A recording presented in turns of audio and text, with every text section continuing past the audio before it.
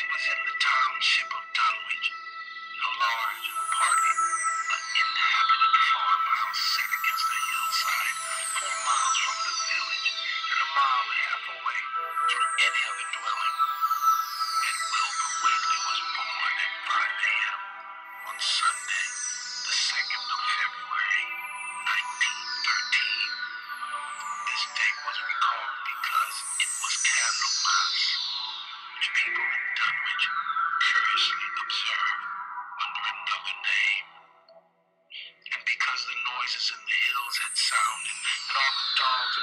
had barked persistently throughout the night before. Less worthy. Of notice was the fact that the mother was one of the decadent Whateleys, a somewhat deformed but attractive albino. Woman of 35, living with an aged and half insane father, about whom the most frightful tales of wizardry had been whispered.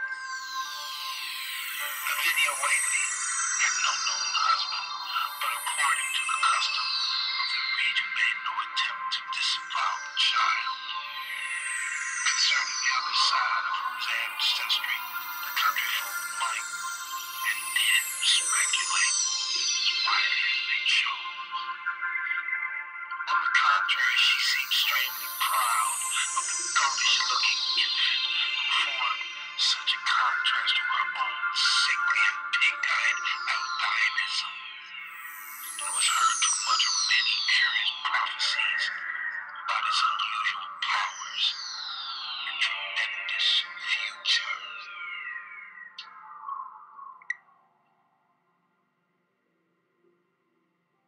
Lavinia was one who would be apt to mutter such things, for she was a lone creature given to wandering amidst thunderstorms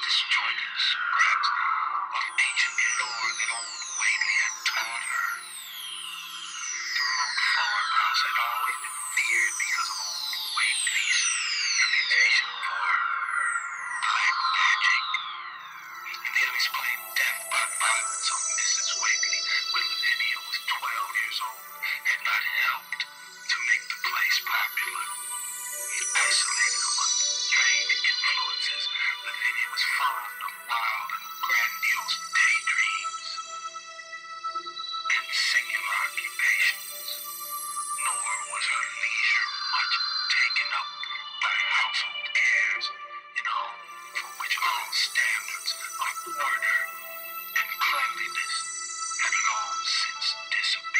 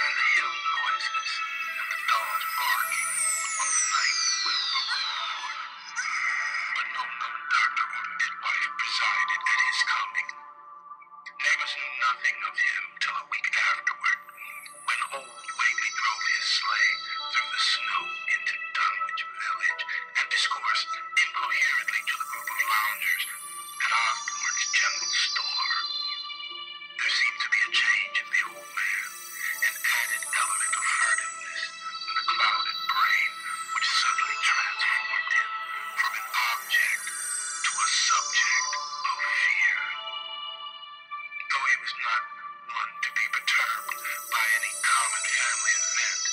Amidst it all, he showed some trace of the pride later noticed in his daughter. And what he said of the child's paternity was remembered by many of his hearers years afterward.